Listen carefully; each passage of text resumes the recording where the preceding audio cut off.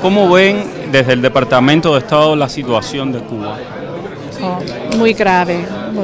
La situación económica es, es muy grave y la situación política pues peor.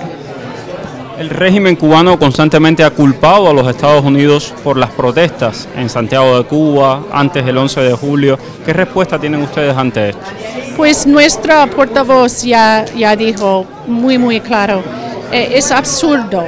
La gente que salió a la calle en Santiago de Cuba o en otras ciudades, pues salió por la, falta de, los, las necesidades básicas en Cuba, la falta de libertad, pero la falta de, electricidad, de comida, incluso falta de agua en algunos sitios. Y pedían libertad, ¿no? Sí, claro. Sin embargo, el régimen dice que todo esto es por culpa del embargo. Pues sabemos que después de 65 años de fracaso económico, de, políticas económicas que han absolutamente ah, no han, no han dado al pueblo cubano nada para vivir. ¿Van a echar la culpa a Estados Unidos? ¿Cómo ven el tema de la crisis migratoria? miles, cientos de miles de cubanos han llegado a la frontera de los Estados Unidos. Eh, ¿Ustedes han hablado de esto con el régimen cubano? ¿Le han dicho tomen acción? Sí, bajo las acuerdos migratorias que hemos tenido durante más de 40 años, tenemos, hablamos con el, gobierno cubano ah, normalmente dos veces al año a temas migratorios. La administración Biden ha hecho mucho en abrir a la, migración legal de Cuba.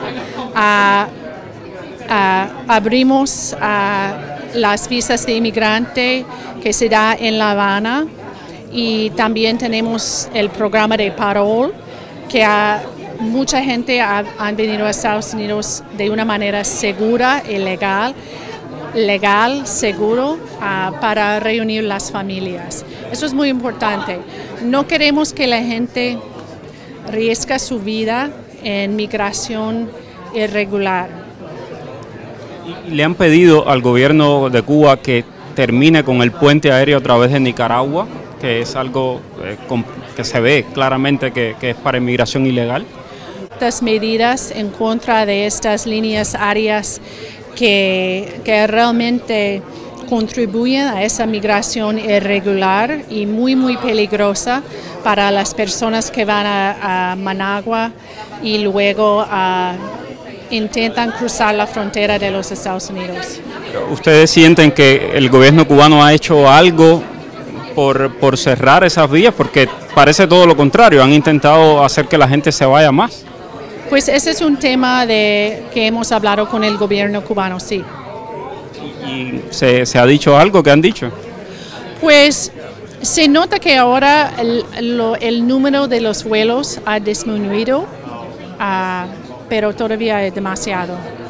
Y es una, después de llegar a Nicaragua, eh, es un camino muy peligroso desde Nicaragua a por vía, por vía de México.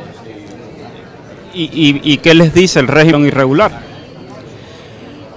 Pues hasta cierto punto el, el, gobierno cubano no piensa que sea su problema.